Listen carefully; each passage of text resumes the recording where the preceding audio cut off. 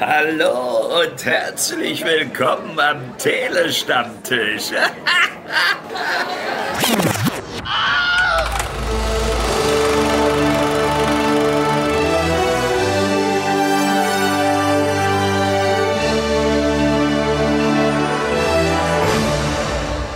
Für uns ist es circa eine Woche her, da bekam Brandon Fraser seinen ersten Oscar für seine Leistung in The Whale. Der Film, der in Deutschland leider erst Ende April, genauer gesagt am 27. April in die Kinos kommt, was eine sehr harte Verspätung ist verglichen mit dem US-Start. Ob sich die Warterei lohnt, darüber wollen wir heute hier reden und Kenny ist dabei. Hallo. Einen sowas von traumhaft wunderschönen guten Tag, lieber Stu. Und der Chris ist auch dabei. Hallo, hallo Stu, hallo Kenny. Ich bin satt und habe gut gefrühstückt. Sind wir schon zu zweit? Was hattest du zum Frühstück, Kenny? Cornflakes. Gut. Ich hatte Müsli. Hm. Vernünftig. Mit fettarmem Joghurt. Vernünftig. Okay, lass uns aber nicht über unser Frühstück äh, reden, wobei das können wir gerne später gerne aufgreifen, wenn ihr wollt. Äh, lass uns erstmal über The Whale reden, den neuen Film von Darren Aronofsky. Wie gesagt, ab dem 27. April im Kino. Und der Chris kann uns kurz mal erklären, worum geht es in dem Film überhaupt. The Whale basiert auf dem Theaterstück von Samuel D. Hunter. Und darum ist er auch auf einen Schauplatz beschränkt, nämlich das Apartment von Charlie. Charlie ist ein ehemaliger Englisch- oder auch äh, Literaturprofessor, der nun von zu Hause aus unterrichtet über den Laptop. Er gibt Online-Kurse, aber die Kamera ist ständig ausgeschaltet. Charlie möchte sich seinen Studenten nicht präsentieren, denn Charlie wiegt über 300 Kilo. Er hat so viel Masse zugelegt wegen einer Tragödie, die sich in seinem Leben ereignet hat. Er hat jemanden verloren, der ihm sehr nahe stand und das hat ihn in eine tiefe Depression geworfen. Der einzige wirkliche Kontakt, den Charlie hat, ist eine Pflegerin namens Liz, die regelmäßig kommt und nach ihm sieht und Liz sagt ihm auch, dass seine Blutwerte so extrem geworden sind, dass er nicht mehr viel Zeit hat, um zu leben. Daraufhin ist Charlie fest entschlossen, wieder mit sich mit seiner Tochter zu versöhnen. Denn er hat seine Tochter und seine Ex-Frau verlassen, als seine Tochter gerade einmal acht Jahre alt war, was seine Tochter ihm auch nie wirklich verziehen hat. Nur Charlie ist wild entschlossen, mit ihr wieder zu connecten, denn sein Zustand verschlechtert sich von Tag zu Tag wirklich enorm. Vielen Dank bis hierhin. Ich glaube, wird seine Kilogrammzahl im Film wirklich erwähnt? Weil ich hatte mir jetzt hier 272 Kilo aufgeschrieben, wobei das ist, glaube ich, auch, das macht den Ball jetzt auch nicht fett. also, also ich, ich, ich, ich, ich habe jetzt auch irgendwie geraten, weil ich habe jetzt nur eben ständig von amerikanischen Kritiken gehört, es seien 600 Pfund. Und sind das nicht ungefähr hm. 300 Kilo oder ein bisschen weniger? Ja, ja. ich, ich weiß nicht, also ich habe jetzt äh, ein paar offizielle auch Synopsen rausgesucht vom Verleih und da steht immer 270 oder 272 Kilo, aber es ist viel. Das ist, glaube ich, klar zu sagen. Es ist sehr, sehr viel. Ähm, ja, gut, hätten wir das auch geklärt. Ähm, ja, Brandon Fraser hat einen Oscar gewonnen. Äh, wer hätte es gedacht, dass der Mann, der jahrelang weg vom Fenster war, äh, der Mann, über den man noch Witze gemacht hat, weil Tom Cruise äh, ihm die Mumie weggenommen hat, äh, jetzt auf einer Oscarbühne steht. Ganz ehrlich, es haben ja nicht nur er gewonnen, es hat auch Ki Kwan, äh, Ki Kwan, wie heißt der? Oh, ich weiß es nicht. Kwan, der von Everything Everywhere Once gewonnen und die beiden haben hier zusammen in Steinzeit Junior gespielt. Also wer hätte es gedacht, dass mal die, ja. die Darsteller von Steinzeit Junior mal auf der Oscarbühne stehen und jeweils einen Preis bekommen für ihre darstellerische Leistung. Kenny, wie sehr hast du dich gefreut, äh, als du das gesehen hast, dass Bretton Fraser einen Oscar gewonnen hast? Du hast The Whale damals noch nicht gesehen, ne? Nein, das, das Gemeine war, die Pressevorführung für mich in Leipzig, die war genau fünf Stunden nach der Oscarverleihung das, das war wirklich gemein. Also ich, ich war gegen um fünf noch wach, äh, bin dann halt ins, ins Bett und habe dann, glaube ich, zwei, drei Stunden geschlafen und bin dann nach Leipzig zur, zur Presseverführung. Für mich war es ja am Montag, bei euch ja, glaube ich, erst Mittwoch oder Donnerstag. Und das war ein hm. bisschen gemein. Also wirklich, der Filmstart ist echt mal viel zu spät. Ich glaube, in den USA gibt es ihn schon auf Blu-ray und bei uns kommt er jetzt irgendwann im April ins Kino und selbst wir durften ihn der PV erst Ende März gucken oder Mitte März. Das ist echt gemein. Ähm, aber prinzipiell, wo dann der gute Brandon Fraser den Oscar bekommen hat. Ich habe es ihm ja gewünscht. Er hat ja sämtliche anderen Preisverleihungen, die es irgendwo gab, gewonnen. Allerdings bei der Oscarverleihung gab es halt noch andere starke Konkurrenzen. Da war es halt so, wenn er ihn nicht kriegt, wäre es okay. Wenn er ihn natürlich kriegt, dann freut man sich natürlich umso mehr für ihn. Und als dann die Ansage kam, and the Oscar goes to Brandon Fraser haben wir alle im Discord geschrien ne? und haben uns mega gefreut. Und ich habe mich wirklich riesig für ihn gefreut, obwohl ich den Film noch nicht gesehen hatte. Und jetzt im Nachhinein muss ich sagen, absolut verdient. Schauspielerisch, dafür, dass er so lange äh, abstinent war von der Schauspielerei und wir ihn lange nicht gesehen haben, Wahnsinn. Das nenne ich mal ein Comeback. Ist er denn in The Whale laut deiner Meinung genauso gut wie in George aus dem Dschungel kam?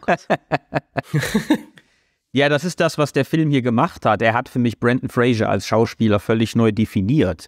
Jetzt ist es ja so, dass er auch damals schon in seiner Blütezeit hier und da neben Sachen wie die Mumie und Teuflisch und Eve und der letzte Gentleman, alles Sachen, von denen ich überhaupt kein Fan bin, ganz nebenbei, sich manchmal auch im dramatischen Fach versucht hat. Es gibt da ja zum Beispiel Gods and Monsters oder Der stille Amerikaner oder auch äh, ein äh, Drama mit Harrison Ford, dessen Titel mir jetzt entfallen ist.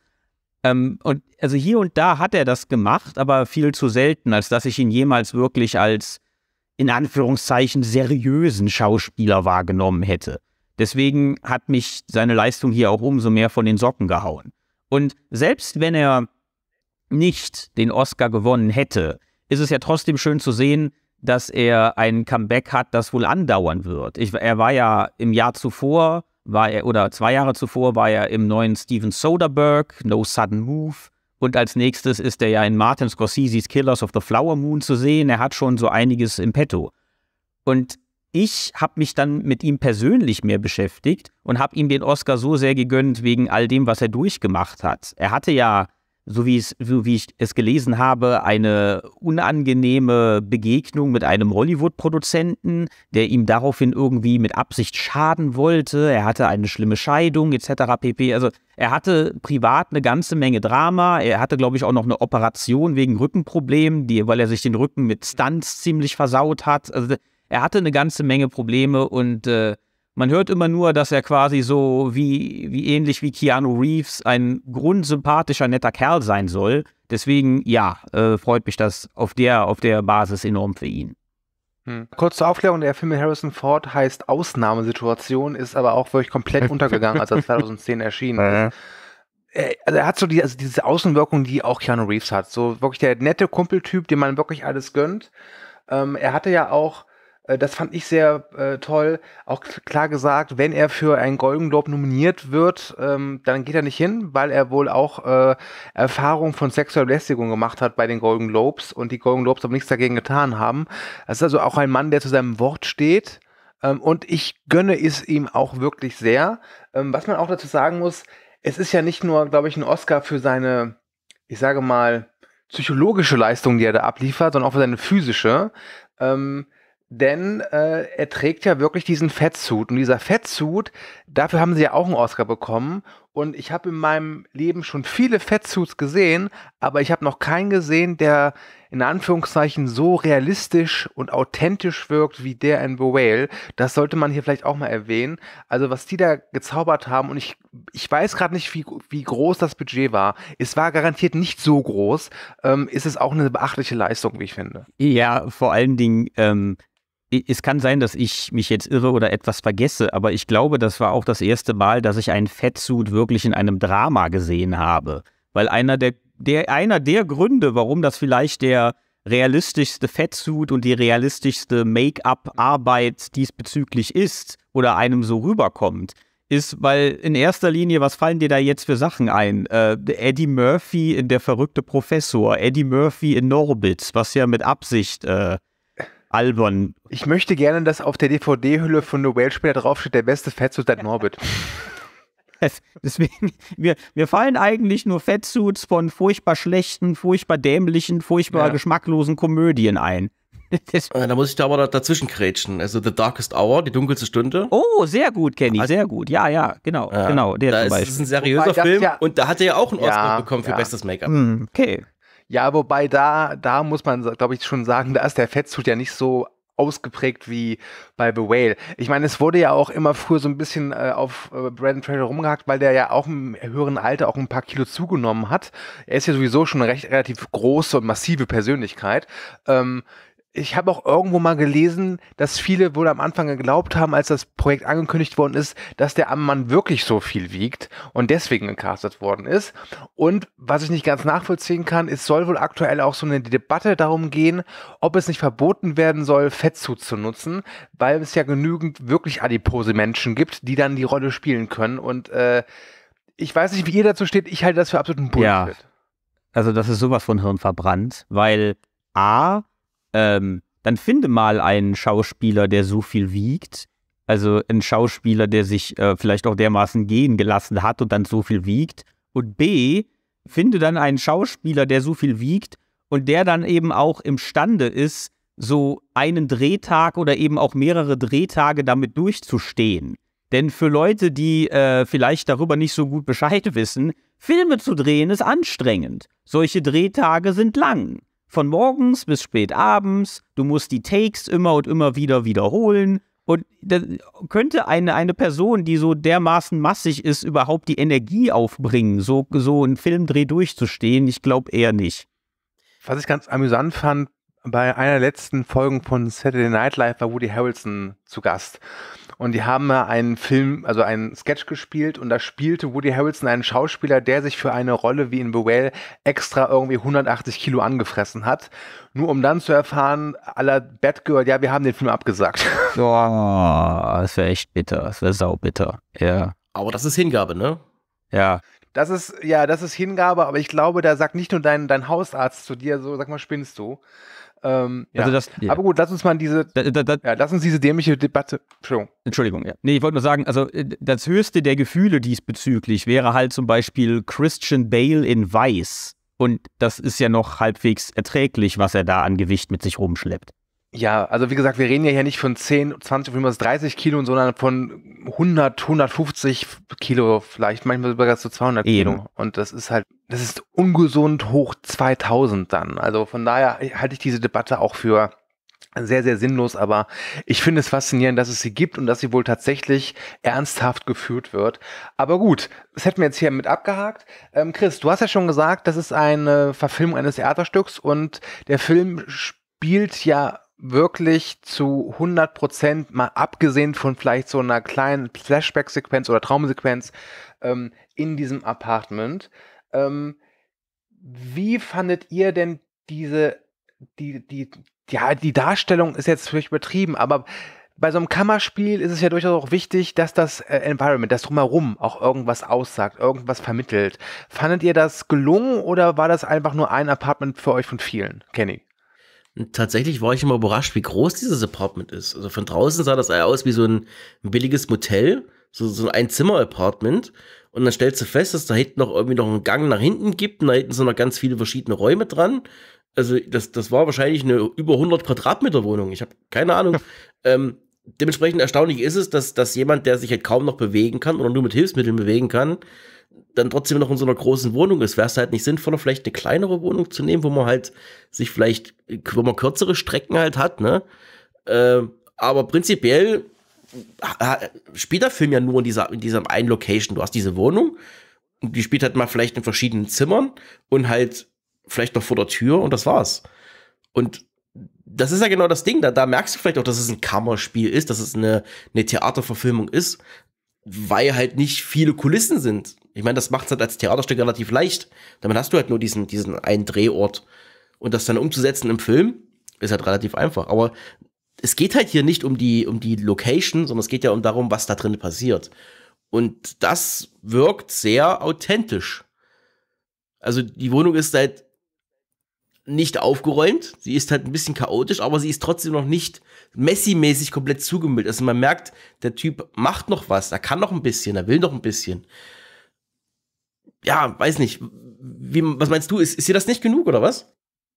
Ähm, nö, also ich fand das, also ich glaube, man hätte doch ein bisschen mehr rausholen können, aber was der Film ja wirklich durchgängig macht, der ist ja in 4 zu 3 gedreht oder wird, oder wird in 4 zu 3 dargestellt, der hat ja immer dieses, es soll ja dieses Gefühl von, von ich nenne es mal Gefangenschaft übermitteln, dieses eingeengt sein. Ich meine, Charlie ist ja von seiner Figur her ja ein, ich sag mal, ein sehr freigeistiger Mensch, aber der ist halt eben eingeengt in diesen massiven Körper. Und genauso ist es halt mit dem Apartment und auch eben mit dem gesamten Film, der halt, wie gesagt, in 4 zu 3 äh, dargestellt wird. Ähm, wie fandest du die denn, diese 4 zu 3 Darstellung, Chris? Fandest du das äh, ein bisschen arg zu verkünstelt oder fandest du es genau richtig? Also in der Pressevorführung hat mich das sehr irritiert, als der Film losging. Der Vorhang geht komplett auf und auf einmal hast du da auf dieser bedeutend größeren Leinwand dieses 4 zu 3 Format. Äh, allein, weil es einfach besser ausgesehen hätte, hätte ich mir jetzt vom, vom Seherlebnis her gewünscht, der Film wäre in einem anderen Format gedreht worden. Aber was die Location betrifft, ja, ich fand das auch in Ordnung, dass die Wohnung eben nicht so messihaft aussah. Weil zum einen, wir haben ja nun mal auch seine Pflegerin Liz, die vorbeikommt. Vielleicht gibt es da bestimmte Dinge, die der Film nicht gezeigt hat und nur impliziert, dass sie eben auch nicht nur kommt und äh, ihm ein Sandwich bringt und mit ihm fernsieht, sondern vielleicht auch ein bisschen sauber macht. Aber es, es spiegelt wahrscheinlich aber auch den Gemütszustand von Charlie selbst wider, weil er ist zwar äh, äh, deutlich depressiv und, und hat mit seinen Dämonen zu kämpfen und seine Dämonen haben ja auch mehr oder weniger gewonnen, weshalb er eben in diesem Körper steckt. Aber er ist immer noch ein fitter Geist, er hat gute Absichten, er kann immer noch zwischen richtig und falsch unterscheiden, er äh, und gibt sich immer noch Mühe, in irgendeiner Weise das Positive zu sehen. Und das spiegelt die Wohnung irgendwo wieder. Die Wohnung ist nicht perfekt aufgeräumt, aber sie ist auch kein Schlachtfeld. Von daher hat das zu seinem Zustand irgendwo gepasst es ist kein Zustand, aber was einfach mittlerweile, glaube ich, zu fast jedem Aronofsky-Film dazugehört, ist äh, biblische Verweise. Hm. Ähm, in Mama war es extrem, in Noah Überraschung natürlich auch, ähm, aber auch in Filmen wie The Wrestler zum Beispiel oder selbst in Pi konnte man schon so leichte Verweise auf die Bibel finden und das natürlich auch in The Whale. Religion spielt ja in The Whale auch ein sehr großes Thema, würde ich sagen, eine sehr große Rolle. Ähm, wie hast du denn äh, wahrgenommen, dieses, diese Thematik, Chris? Also dieses Mal erstaunlich weniger als vorher, finde ich. Also am, am, am Ende, ja, das Ende, da kann man sich drüber streiten, ob man das berührend findet oder, oder äh, viel zu drüber. Aber dieser Missionar hier, da kommen wir mal kurz auf diesen Charakter zu sprechen. Ähm, wie hieß er? Nochmal gleich? Thomas. Thomas, ja. Thomas, Thomas, gespielt von Ty Simpkins. Da ist ja dieser Missionar, der mehrmals an Charlies Tür klopft und ihn bekehren will, weil er eben denkt, du brauchst Hilfe und wenn du zu Gott findest in deinen letzten Tagen, dann wird das deine Seele retten, was halt so ein Missionar einem da erzählen würde. Und ich finde diesmal, dass Aronofskis religionskritische Sicht hier deutlich besser zu, zum Tragen kommt. Ich meine, äh, äh für Leute, die sich Darren Aronofskis Filmografie ansehen und nichts über ihn privat wissen, werden sich jetzt vielleicht wundern, aber der Mann behauptet ja tatsächlich von sich selbst, er sei Atheist. Nur er hatte eben eine stark religiöse Erziehung und deswegen finden diese Themen immer wieder in seine Filme. Aber er nimmt, obwohl das immer da so äh, breit gefächert vorkommt, einen atheistischen Blickwinkel ein. Und ich, ich finde, hier kommt das eigentlich relativ gut zur Geltung mit Thomas weil äh, Charlie wird halt schon dann in einer Art und Weise dargestellt, die ihm Recht gibt. Es gibt halt eine Szene, da weist er Thomas zurecht und, und sagt hier, komm, das ist doch alles Blödsinn. Und, und glaubst du wirklich, ich, das bringt mir was? Und glaubst du wirklich, ich, ich, ich erhalte Vergebung? Und warum machst du das eigentlich? Und Thomas äh, hat ja auch ähm, ein paar Geheimnisse, wie wir später erfahren, die dann eben zutage kommen, wo, wo klar wird, ja, äh, das, er versucht wahrscheinlich auch nur vor sich selbst wegzulaufen oder glaubt irgendwie, er kann sich selbst retten, wenn er irgendwie Charlie bekehrt oder sowas. Also ich finde, der religiös-kritische Angle, der kommt hier deutlicher zum Tragen als in anderen Aronofsky-Filmen zuvor. Wie hast du die Religionsthematik wahrgenommen, Kenny? Äh, ich selbst bin Atheist und versuche das Ganze nicht immer so ernst zu nehmen. Also gerade bei amerikanischen Filmen, wo gerne mal sehr stark die, die, das Christentum und alles nach vorne gehoben wird und in, in the name of God und, und God save America und was weiß ich, bist du es ja irgendwie als deutscher atheistischer Kinogänger ja gewohnt, dass das so ist und, und blendest es einfach weg. Ähm, tatsächlich wusste ich jetzt nichts über seine privaten Denkweisen. Allerdings, wenn du schon sagst, dass der christlich erzogen wurde, aber selbst eine Frage stellt, finde ich, verarbeitet er das ganz gut in dem Film. Weil er es ja hier in dem Film in Frage stellt. Du hast ja diesen, diese Gegenüberstellung. Du hast ihn, der nicht mehr glaubt, der scheinbar mal geglaubt hat. Und da sind viele Sachen passiert, da hat er entschieden, nee, ich glaube nicht mehr. Und der trifft dann auf jemanden, der ihn missionieren will. Und, und ähm, anfangs lässt er sich noch so ein bisschen drauf ein. Aber trotzdem gibt es diesen Konflikt. Und ich finde, wenn seine eigene Ansicht das ja so ist, wenn du selbst mal christlich erzogen wurdest, aber selbst Atheist bist, hast du ja immer diesen innerlichen Konflikt. Und dann hast du auch eine sehr kritische Sichtweise auf Religion. Und dass du dann natürlich sowas in einem Film verarbeitest, ist dann natürlich selbstverständlich. Und ich finde, hier ist es okay, weil es halt kritisch dargestellt wird und nicht als selbstverständlich, dass es ja im Ende ja um Gott geht und das ist alles Gott gegeben und bla bla bla, sondern es ist bis zum Ende hin kritisch. Und das finde ich gut, weil du kannst, du kannst dir aus beiden Sichtweisen irgendwie dir selbst interpretieren, was du daraus mitnimmst in dieser Geschichte. Für mich war das typisch Aronofsky. Mich hat's nicht gestört. Ähm, ich hätte es, glaube ich, nicht gebraucht. Ich, irgendwie war für mich immer so Mother sein Bibelfilm. Er hatte das, das Gefühl, damit hat er im Prinzip eigentlich alles gesagt. Und das mehr als deutlich, weil, und das hat er sich auch beibehalten bei The Whale, Aronofsky ist kein Mann der subtilen Töne. Das kann man, glaube ich, äh, ganz klar sagen. Auch bei Whale wird das Emotionale wirklich mit Donnergrollen nach vorne getragen. Ähm, fandet ihr das hier passend oder hättet ihr euch gerne noch ein paar vielleicht leisere Töne gewünscht? Kenny, wie sieht's aus? Oh, das ist schwierig. Darüber habe ich jetzt nicht groß nachgedacht. Also, um dir darauf eine richtige Antwort zu geben, müsst ihr jetzt eine Weile drüber nachdenken. Oder wir machen jetzt dann, hier eine äh, 30-minütige Pause, wenn du möchtest. Gerne. Okay, dann, Candy on the break. dann hör jetzt mal gut zu, was der Onkel Chris Ja. sagt. Vielleicht kannst du was mitnehmen. Also wenn wir Aronofskis Gesamtwerk betrachten, und ich betrachte mich selbst ja eigentlich schon als ein Fan von ihm, dann würde ich The Wrestler, äh, dann würde ich The Whale am ehesten noch mit The Wrestler vergleichen, weil ich finde, der haut hier nicht so auf die Pauke wie in anderen Filmen. The Wrestler fand ich auch relativ geerdet und vor allen Dingen, wir sind das ja bei Aronofsky gewohnt, das, was er so gerne macht, er erzählt am Anfang ein Drama, das dann in Sachen Intensität so dermaßen zunimmt, dass es am Ende schon wirklich zum Horror wird. Wie gesehen bei Requiem for a Dream, wie gesehen bei Black Swan. Und hier äh, ist es eben wie bei The Wrestler. Es ist ein Drama, es wird intensiv, es geht an die Nieren, aber es verwandelt sich nie in einen vollkommenen Albtraum. Und das, ich, ich mag das eher, wenn Aronofsky eben so ist. Weil du hast hier eine Szene, da hätte ich eigentlich erwarten können, jetzt packt Aronofsky die albtraumhaften Bilder aus. Jetzt äh, wird das so unerträglich, dass man kaum noch hinsehen kann. Nämlich, es gibt halt einen Moment, äh, du, wir haben ja auch schon äh, vorher darüber gesprochen, wenn Charlie an seinem absoluten Tiefpunkt angelangt ist und er hat dann eine Fressattacke.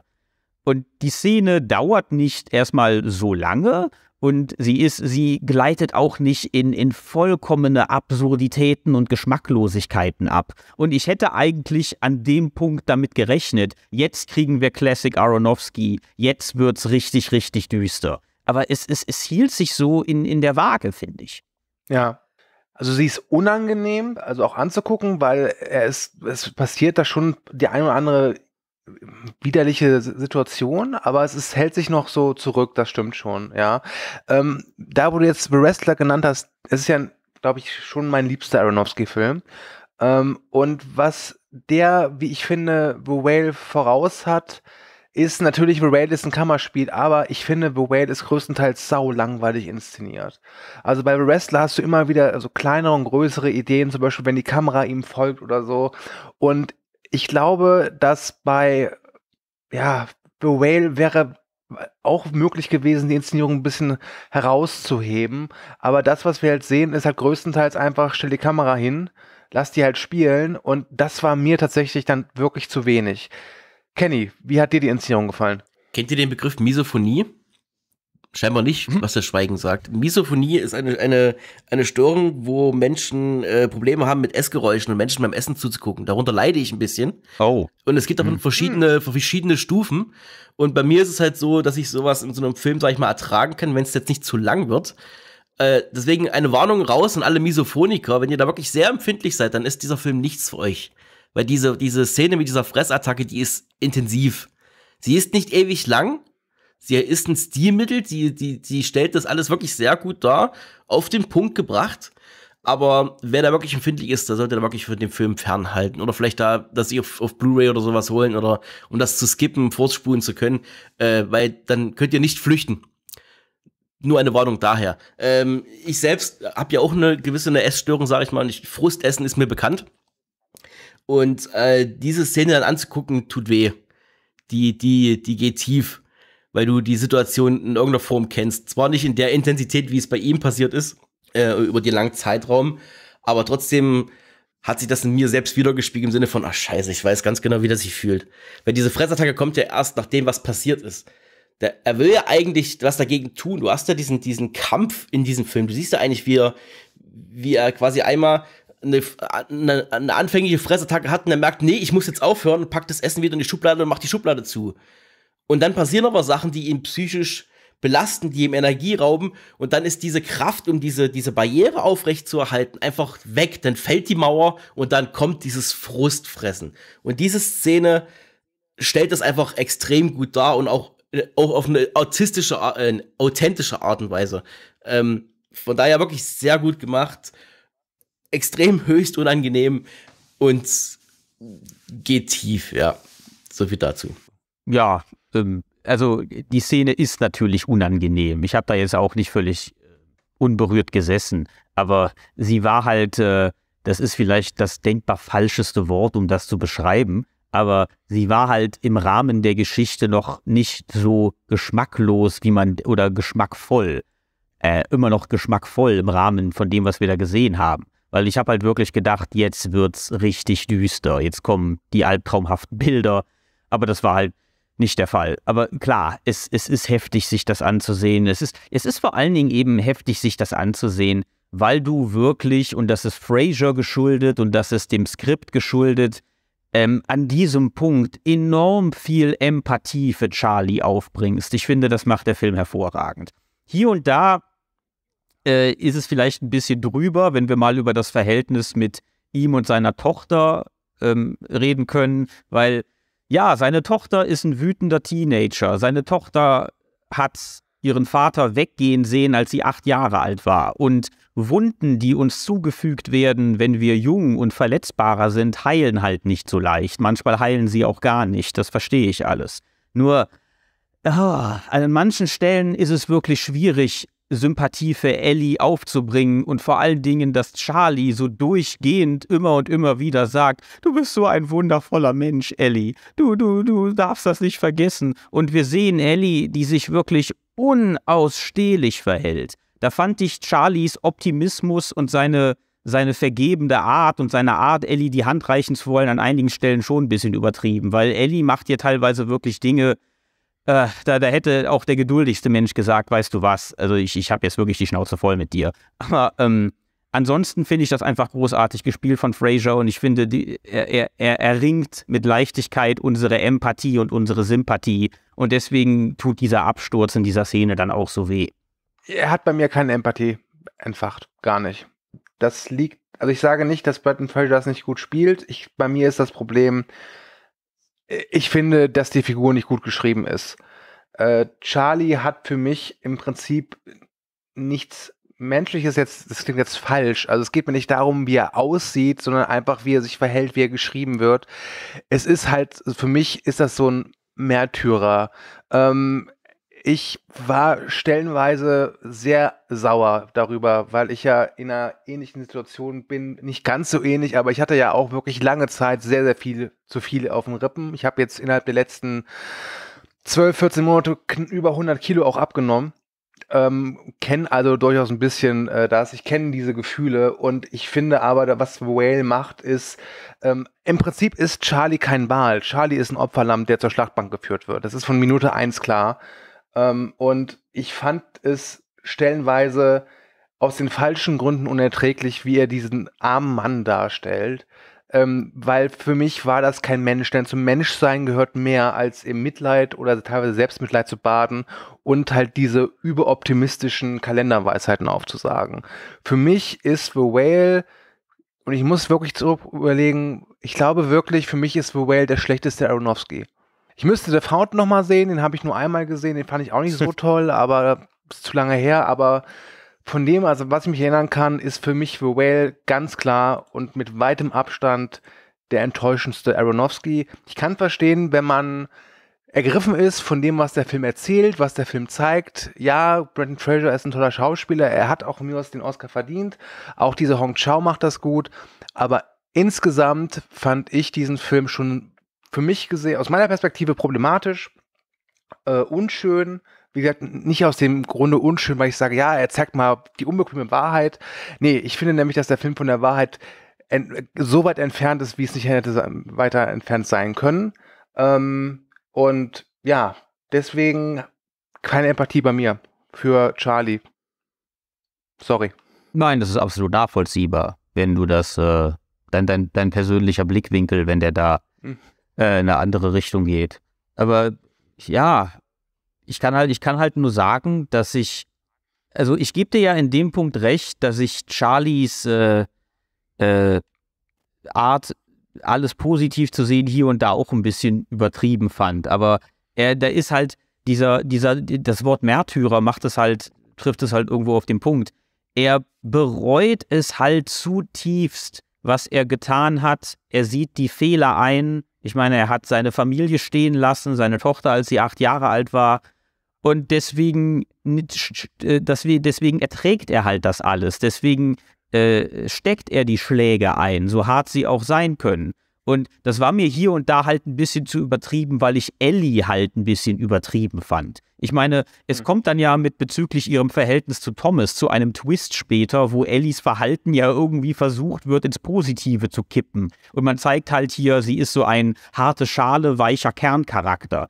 Aber manche Dinge von ihr, die, die finde ich wirklich zu übertrieben. Deswegen finde ich dann auch äh, seine, seine wohlwollende Art ihr gegenüber zu übertrieben. Wäre Ellie vielleicht ähm, ein bisschen dezenter geschrieben worden, von wegen sie ist angepisst, aber sie ist nicht so unerträglich bosartig, dann hätte ich Charlies Reaktion ihr gegenüber vielleicht auch mehr abkaufen können. Aber alles in allem konnte ich halt das nachvollziehen, dass dieser Mann halt zutiefst bereut, wie die Dinge gelaufen sind und deswegen sich dieser Situation bereitwillig aussetzt, ganz egal wie weh es auch tut. Hm. Ich muss auch sagen, es gab halt einen Moment, äh, wo ich, da kam in mir das Gefühl auf und ich sag's so wie es ist, äh, Charlie ist ein Arschloch. Ähm, und nicht, weil er seine Familie verlassen hat für die, Zitat, Love of My Life, sondern weil halt eben gegen Ende was rauskommt. Ähm, ich möchte das jetzt nicht wie aus Spoilergründen genauer sagen, aber es hat was mit zum Thema Finanzen zu tun. Ähm, und da war mir halt klar, okay, ähm, ich kann mit dieser Figur nicht connecten. Das geht einfach nicht. Zum einen, weil ich finde, dass er nichts Menschliches hat. Äh, und weil ich auch finde, das, was er getan hat, ist halt Ausbeuterei. Der hat halt einfach andere Leute ausgebeutet. Und für mich, natürlich tut er mir auch irgendwie leid am Ende, klar. Aber ähm, ja, was er gemacht hat, ich finde das, ich fand das krass. Und ich, für mich hat das nicht so gewirkt wie, ja, er hatte keine andere Wahl oder er versucht auch nur das Beste zu machen. Nee, für mich war das ein absolut egoistischer Move und hat für mich die Unmöglichkeit, empathisches Empfinden für ihn aufzubauen, noch mal ein bisschen erschwert oder komplett komplett vernichtet. Und wie gesagt, ich kann verstehen, wenn man das anders sieht. Das ist wirklich eine komplett subjektive Wahrnehmung aus äh, auch teilweise geschuldet aus persönlichen Erfahrungen. Ähm, aber äh, es macht mich halt wirklich auch ein bisschen sauer, wenn man dann immer aus dem Film kommt und ich habe halt immer noch ein paar Kilo zu viel. Ich meine, und Kenny und ich, wir sind einfach, ne, wir sind einfach kleine Moppel, äh, aber sexy dabei. Mhm, ähm, absolut. Und, und, man, und man wird halt wirklich darauf angesprochen, ey, ich kann jetzt verstehen, wie es dir geht. Nee, könnt ihr nicht bitte lasst es sein. Also das, das, das, ich habe es immer wieder jetzt von ein paar Leuten gehört, das ist nicht böse gemeint, das, ich nehme es auch nicht als böse wahr, aber bitte glaubt nicht, dass nur weil ihr The Whale gesehen habt, dass ich auch eine Ansatznähe weiß, wie es ist, mit so einem Körper zu leben. Das wisst ihr nämlich gar nicht. Wie gesagt, The Whale ist ganz weit davon entfernt. Denn auch äh, adipose Menschen, dicke Menschen, ja, äh, können Freude empfinden. Aber Charlie in, diesen, in dieser einen Woche, die wir ihn sehen, ist der nur, ist es, ist der nur dafür da, um zu leiden. Und ich hab's, darauf habe ich keinen Bock. Es gibt irgendwie nur zwei Arten von solchen Dicken. Das eine ist der fröhliche, lustige Dicke und das eine ist halt eben dieser jetzt Charlie, der Mörderer Dicke. Und ich finde, da fehlen mir dann doch die Zwischentöne, die Grautöne. Ja, ähm, ich glaube, ich hätte damit aus meiner Seite alles gesagt, aber wer jetzt ein bisschen still gewesen ist, ist, ist Kenny, der vermutlich schon, äh, nachdem ich gesagt habe, er ist sexy, sich im Spiegel angeschaut hat, oder? Ja, meine Hose habe ich schon ausgezogen. Ja, ja, ich. das ist eine, das ist eine schöne Öffnungsszene, ne? War auch cool. Ja. Ähm, äh, ja. Oh, ja, ja, ja. ähm, tatsächlich, ich verstehe die gesamten Kritikpunkte, die ihr ansprecht. Ähm, ich, ich glaube, das Problem hier ist, dass wir ein, ein Theaterstück äh, auf die Kinoleinwand gebracht haben, ohne ihn für die Kinoleinwand entsprechend umzuschreiben. Ich hätte es besser gefunden, wenn der Film äh, über einen längeren Zeitraum die Geschichte erzählt hätte. Mit dem, mit dem Leidensweg, also wie es dazu gekommen ist, beziehungsweise ähm, mit Alltag. Weil das Ding ist, das Merkwürdige ist, du wirst hier in diese Geschichte reingeworfen, an einem Montag oder Dienstag, keine Ahnung, und am Ende der Woche ist die Geschichte vorbei. Und an dem Tag X, wo, er, wo es ihm schlecht geht, schreibt er plötzlich seiner Tochter, die kommt einfach mal vorbei.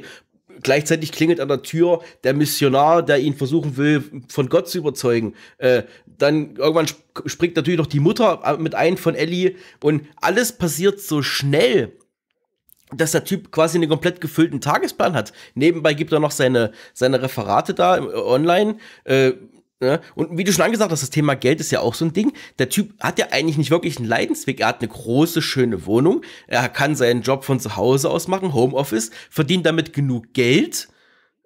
Äh, und, und, und eigentlich geht's ihm eigentlich gar nicht so schlecht. Und wenn du aber zu, zu, zu so einem starken Übergewicht kommst, hat das ja meistens irgendwo eine psychische äh, Problematik irgendwo. Welche das ist, das können unterschiedliche Gründe und, und, und Ursachen haben. Ähm, aber so wie er eigentlich lebt, was er für ein Leben hat, ergibt der Zusammenhang zu dem, was da passiert, nicht wirklich was. Auch wenn ihm mal vor vielen Jahren was Schlimmes passiert ist. Äh, so schlimm kann es ja nicht gewesen sein, wenn er trotzdem deswegen ein halbwegs stabiles Leben hat, weil er hat ja Kontakte, er hat Freunde, er hat einen Beruf. Äh?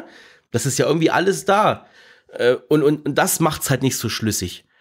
Und das, das gefiel mir halt nicht. Das ist einfach, dass alles so, die richtigen Leute kommen zum richtigen Zeitpunkt dazu.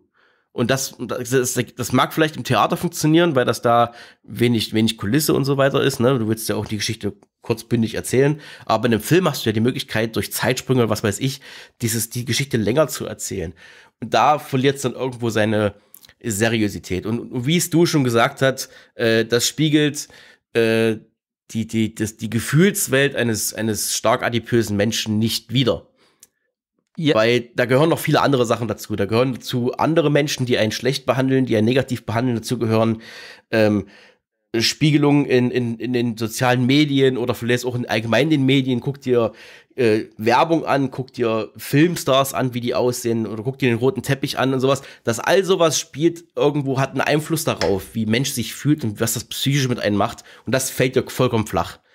Also du hast nie den Punkt, dass du dass da mal zum Beispiel Fernsehen guckt und dann wird plötzlich schlecht über Übergewichtige geredet oder irgendwie sowas oder, das, oder von, von Mode wird nicht gesprochen oder sonst irgendwelchen Sachen.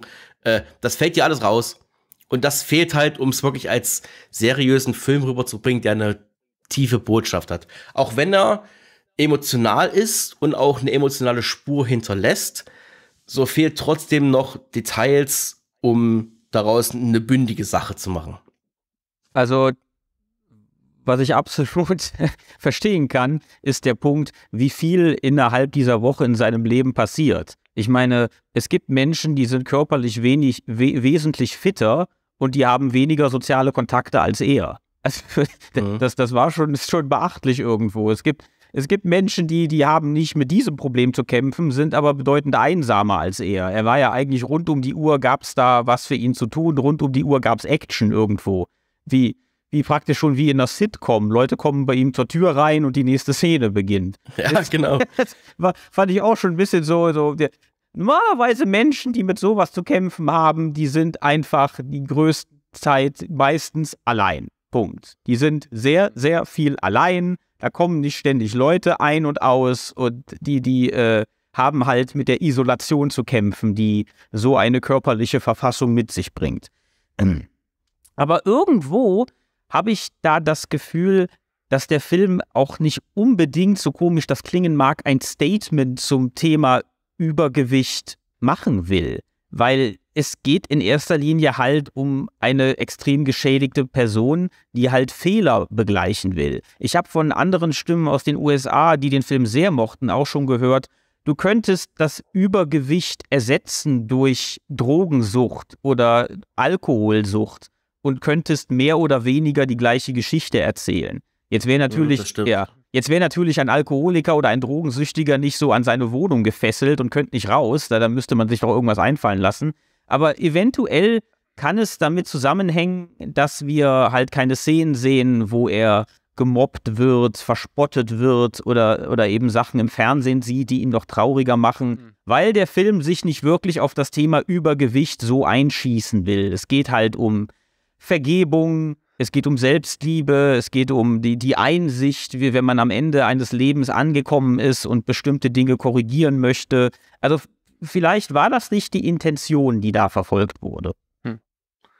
Was halt auch schade ist, ähm, ich nenne es jetzt einfach mal Fresssucht oder mal Esssucht, ich weiß jetzt nicht, wie der korrekte Terminus ist, aber das perfide an dieser Sucht ist ja, du musst ja essen. Du kannst ja nicht auf Essen verzichten. Du kannst natürlich weniger essen, ja. Zum Beispiel bei Nikotin oder Alkohol, das ist ja nicht lebensnotwendig.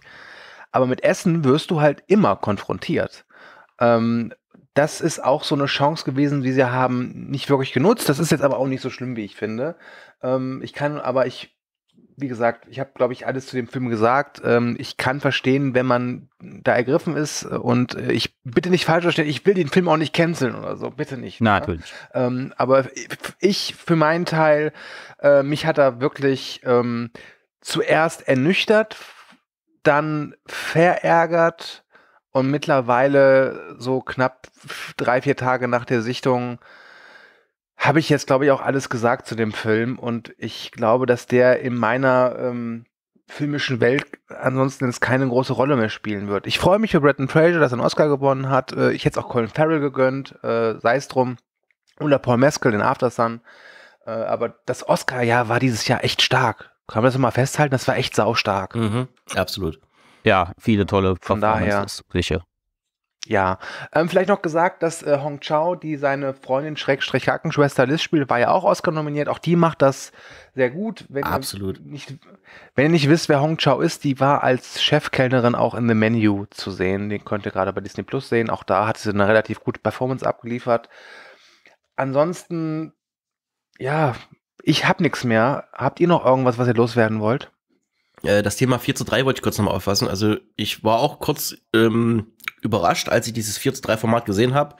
Aber dann nach fünf Minuten oder zehn Minuten war, war das dann komplett ausgeblendet. Und das ist mir noch nicht ein einziges Mal wieder aufgefallen. Kann daran liegen, dass ich äh, mit 4 zu 3 aufgewachsen bin und ich das einfach kenne. Früher war alles 4 zu 3. Aber wir hatten ja damals nichts. Wir hatten ja damals nichts, genau. Yeah. äh, ja, von daher, ich weiß nicht, ob das Stilmittel jetzt so effizient genutzt wurde. Ich glaube, es macht keinen Unterschied, oder? Ob das jetzt 16 zu 9 ist oder 4 zu 3. Doch, ich, also ich finde schon, ich, das ist von der Bildsprache her schon was anderes. Und ich finde, dass 4 zu 3 immer so was, was Eingeschlossenes hat. Das ist, ich glaube, dass so Filme wie jetzt zum Beispiel Der Leuchtturm, das ist, glaube ich, der letzte bekannte große 4 zu 3 Film, der in 16 zu 9 auch ganz anders gewirkt hätte. Und so ist es auch bei The Whale, weil The Whale ja auch von der Farbgestaltung eher ausgewaschen wirkt. Und, ne, der ist ja wirklich, also von der, von der Farbgebung ist er ja alles andere als ein, ich nenne es mal Crowdpleaser hat seinen, seine Oscars verdient. Äh, aber ich, ich, ich würde ihn nicht noch mal ein zweites Mal gucken. Wenn ich jetzt wüsste, da kommt irgendwo ein Free TV oder da kommt auf irgendwelche Streamingdienste raus, ich werde ich werd den Film nicht noch mal gucken. Ich habe ihn geguckt, weil Brandon Fraser so damit polarisiert wurde durch seine ganzen Preise, die er gewonnen hat. Jetzt natürlich durch die Oscarverleihung noch mal, noch mal eine Note drauf. Aber ansonsten ist es jetzt kein Film, dem ich jeden empfehlen würde. Das ist für uns Filmfreaks, die sich mit Oscars beschäftigen und den ganzen Zeug drumherum so eine Art Pflichtveranstaltung, ne? Aber ist das jetzt ein Film, den mir jemanden empfehlen würdet oder ich glaube nämlich eher nicht. Also ich doch, wenn jemand sagt, er mag The Wrestler oder die allgemein die Aronofsky-Filme, dann äh, soll er sich den gerne angucken oder sie. Ich bin sowieso jemand, der die Meinung vertritt, wenn dich ein Film interessiert, dann guck ihn dir an, egal wie dir was die Kritiken sagen. Mhm. mhm. Äh, selbst ein schlechter Film kann eine Erfahrung sein. Ich würde ihn auf alle Fälle weiterempfehlen, weil ich finde das halt immer so interessant bei Verfilmungen von Theaterstücken, dass ähm, ja, das Kino kann dir eine ganze Menge geben und deine Sinne berauschen mit unglaublichen Kamerafahrten und Special Effects und was was ich noch all, alles für fantastischen Tricks. Aber es geht halt auch so einfach. Du brauchst einfach nur gute Schauspieler und ein gutes Skript und eine gut erzählte Geschichte und die Magie kann passieren. Deswegen bin ich immer ganz besonders begeistert von tollen Verfilmungen von Theaterstücken. Du hast sowas Minimalistisches und du erzeugst trotzdem etwas, was dich absolut fesselt und bannt. Ich mag zum Beispiel halt sehr Hautnah von Mike Nichols oder auch Fences von Denzel Washington. Und ja, ja und, und das schlägt für mich so in diese Kerbe. Du hast nur diese eine Location, du hast nur diese Darsteller, die sich wirklich die Seele aus dem Leib spielen und es, es ist einfach ganz, ganz groß. Von daher, allein deswegen, wenn man auf großes Schauspielerkino steht, würde ich sagen, unbedingt ansehen. Und ich dagegen würde sagen, ja, vielleicht sehe ich ihn mir noch ein zweites Mal an. Wenn ihr auf große Podcasts steht, dann habt ihr eigentlich schon die richtige Adresse gefunden, nämlich den Telestammtisch. Äh, dort findet ihr nicht nur diese Besprechung, sondern noch ganz, ganz viele andere Besprechungen und vielleicht das ein oder andere Special. Schaut da gerne mal auch auf unsere Webseite www.tele-stammtisch.de. Außerdem würden wir uns sehr freuen, wenn ihr uns positiv bewertet bei Spotify oder Apple Podcasts oder wo es sonst noch möglich ist. Ich weiß jetzt nicht die ganzen Adressen auswendig. Ich bin nämlich mittlerweile in dem Alter, wo ich nicht mehr zur werberelevanten Zielgruppe gehöre. Und damit wäre die größte Tragik jetzt auch endlich auf dem Tisch. Ich bin alt und meine beiden Kollegen sind es noch nicht, aber das werden sie noch. Und damit beschließen wir diesen Podcast. Lieber Kenny, lieber Chris, vielen Dank, dass ihr mit mir über The Whale geredet habt, der, ich wiederhole, am 27. April in die deutschen Kinos kommt, was wirklich echt eine starke Verspätung ist, aber ja, kann man nichts machen.